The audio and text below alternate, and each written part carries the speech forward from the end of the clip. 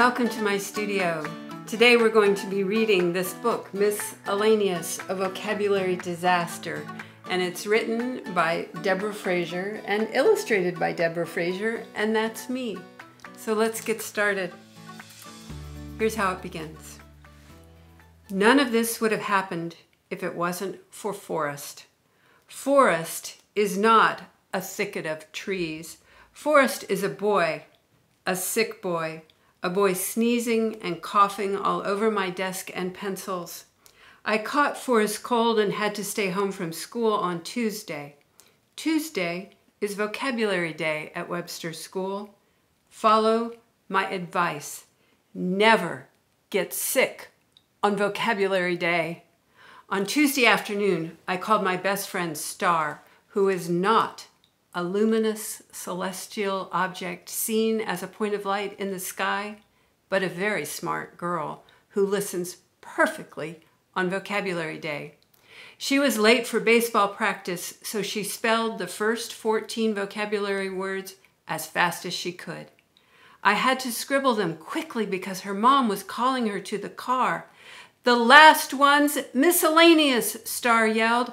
I gotta go. I hope you feel better tomorrow, Sage. And she hung up the phone with a crash. And here they are Forrest, meet Forrest and Sage, and her friend Star. These are the words she received 15 words. Number one, dinosaur. Number two, snake. Number three, museum. Next is reptile, constrictor, herbologist, fossil, carnivore, herbivore, nest, species, theory, hypothesis, number 14, category, and number 15, miss, miscellaneous. Oh, look how she has spelled it. Miss Alaineus. I didn't feel much better on Wednesday, so my mom called Mrs. Page, who is not a single side of a printed sheet of paper usually found bound in a book. She's my teacher. And actually, Mrs. Page is a good name for her because she reads to us every day. My mom told her, yes, I had my math problems and vocabulary words, and yes, I would get better soon. Every week, Mrs. Page gives us a list of words with a theme like story writing or musical performance or electricity. We're supposed to look up each word in the dictionary, but sometimes I already know the words, so I try to make the definitions sound like I look them up. Like, for example, tree, a large leafy plant with a tall wooden trunk that pushes roots into the ground and branches into the sky. Pretty good. Automobile, a vehicle used to transport humans, usually consisting of four wheels, a steering wheel, and a radio. Automobile. I thought I was pretty good at definitions until this week. My mom says, Pride goeth before a fall. Pride, an unduly high opinion of oneself, goeth Old English for to go, fall, what happened on Monday, vocabulary test day. By Thursday afternoon, my head felt like it was stuffed with cotton and my throat felt swollen shut. I finished defining my vocabulary words while propped up in bed with a tissue of on one side and giant red dictionary on the other. It's hard to look up words in a huge book while you're in bed blowing your nose, so I made my own dictionary language for as many of them as I could. Number 13, hypothesis, what you guess will happen in your science experiment. Number 14, category, a bunch of things that are alike. Number 15, hmm, Miss miscellaneous. The last word seemed a little odd to me because I couldn't figure out what she had to do with snakes or categories or theories. Mrs. Page rarely gives us people's names on our vocabulary lists, but we have had a few that turned into words like Louis Pasteur for pasteurization and George Washington for Washington, D.C. So I decided she must have been included for a reason. You know that for years I had wondered who Miss Alaineus was. When I was little, I figured out that she had something to do with the kitchen because the miscellaneous drawer held the spoons too big to fit anywhere else, the sharp corn holders shaped like little tiny cobs, and the spaghetti spork, that weird cross between a spoon and a fork that perfectly lifts slippery spaghetti out of the bowl. I thought maybe she was an ancestor, an ancient relative long dead, who left us all these odd things in the drawer. Then, just last year, my mom and I were at the grocery store and it all fell into place. We were in one of those very big hurries when she said, Now you go get some of that long Italian bread and two sticks of butter. I'll get miscellaneous things and meet you here at the cash register.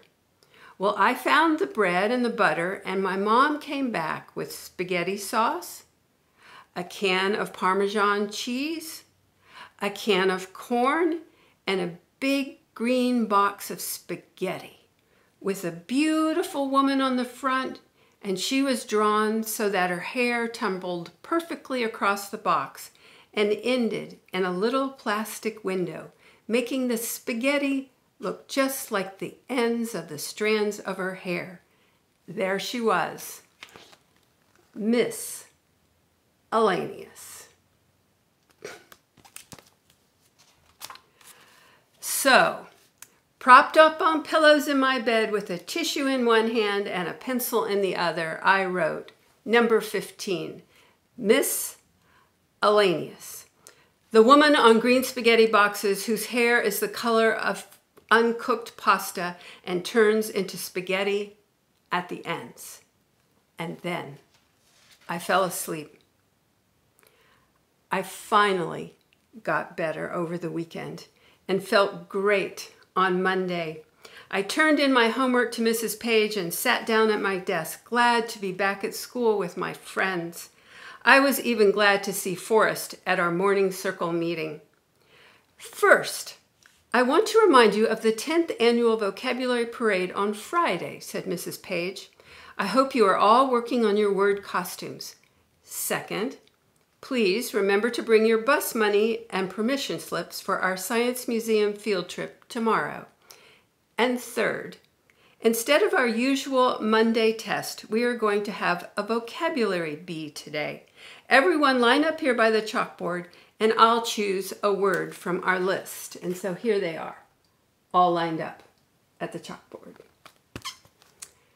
After I pronounce the word, please spell and define it. If you are correct, go to the end of the line. If you miss the word, please sit down at your desk and look it up in the dictionary. Write the word five times and define it once. Star was first with the word museum. Museum, M U S E U M, she said. A building for exhibiting objects about art or history or science, she said, and went back to the end of the line. Cliff, not a high, steep face of rock, but one very tall boy, answered to the word dinosaur. D I N O S A U R, a prehistoric extinct reptile, often huge. And he went to the back of the line. I was 10th, and when Mrs. Page called out my word, I spelled capital M I S S capital A L A I N E U S, and added, The woman on green spaghetti boxes whose hair is the color of uncooked pasta and turns into spaghetti at the ends. There was a moment of silence in the room. I smiled at Mrs. Page. She waited to see if I would add anything else, and when I didn't, she grinned not smiled, grinned, to draw back the lips and bare the teeth as if in a very wide smile. and the entire class burst into one huge, giggling, laughing, falling down mass of kids. Forrest was doubled over. Star, my best friend, was laughing so hard, tears came to her eyes. By now, even Mrs. Page was laughing. Pride goeth before a fall. I was sage, one who knows wisdom, experience, judgment. Why were they laughing? Wise girl with words, my dad always called me. What had I said? I was beginning to turn red, red, the color of embarrassment. Finally, the room quieted. Mrs. Page opened her dictionary and wrote on the chalkboard, miscellaneous, adjective, consisting of various kinds or qualities. Two, a collection of unrelated objects. My jaw dropped as I looked at the spelling. My eyes bulged as I read the definition. I didn't bother to tell anyone about my mom and the spaghetti spork and the grocery store. Humbled, aware of my shortcomings, modest, meek, I dragged back to my seat and wrote miscellaneous five times and defined it once. And that's when I remembered I had even drawn a picture of the spaghetti box for extra credit. I was devastated, wasted, ravaged, ruined, destroyed, finished, brought to an end. They called me miscellaneous for the rest of the day. Sometimes a person couldn't even get the words out before bending over with laughter. The day took a week to end. When I got off the bus, I slumped home, devastated, ruined, finished. I told my mom the whole story, from the kitchen drawer to the grocery store to the vocabulary bee. Even my own mother laughed a little at the part about the drawing for extra credit, but at least she stopped fast and said, You know what I always say? There's gold in every mistake. Gold, a bright yellow precious metal of great value. Mistake, something done, said, or thought in the wrong way. Impossible, I told her. Impossible. Not capable of happening. Here she is arriving home to show her mother everything that happened in the day. I couldn't believe I ever had to go back to school. But the next day we went to the Science Museum and everyone forgot all about miscellaneous at the snake exhibit and the dinosaur bone lab. And then the guide said, the field of bone archaeology has been influenced by a wide and unusual array of miscellaneous discoveries around the world. The class burst out laughing and the guide was pleased with herself for entertaining us so easily. And I knew to apprehend with certainty that my mistake was still alive and well, and nothing like gold. After school, I lay on my bed and stared at the wall. How could I have been so stupid? My mom came in and said it was time to go to work on my costume for the vocabulary parade. We had finished the cape for the word capable, but I still needed to make the lettering down the back. Mom, I said, I could only be a mistake this year. Mistake. Suddenly, I sat up. I looked at my mom. She looked at me. I smiled. She smiled. And she said, Sweetheart, let's take another look at that cape. So off they went, stitch, stitch, cut, cut, snip, snip. And the next day, it took the most courage I've ever had to walk out on that stage as Miss miscellaneous, queen of all miscellaneous things. But When Mr. Bell read my word and definition, everyone applauded and laughed wildly in a manner lacking all restraint, and I grinned at my mom across the auditorium. Forrest came right after me. When he bowed, his precipitation watering can hat rained on Mr. Bell's new suit, and the entire audience gasped, then cheered when Mr. Bell smiled at his soggy clothes. Have another look. There's Forrest, and there's Mr. Bell about to get rained on shortly. To my astonishment, great shock, and amazement, I won a gold trophy for the most original use of a word in the 10th annual vocabulary parade. So this time, mom was right. There was gold in this mistake.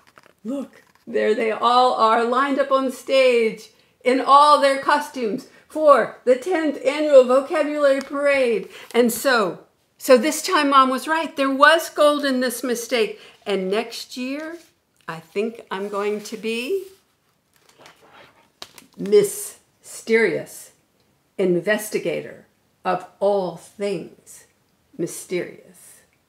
And that is the end of that story. Thank you so much for listening.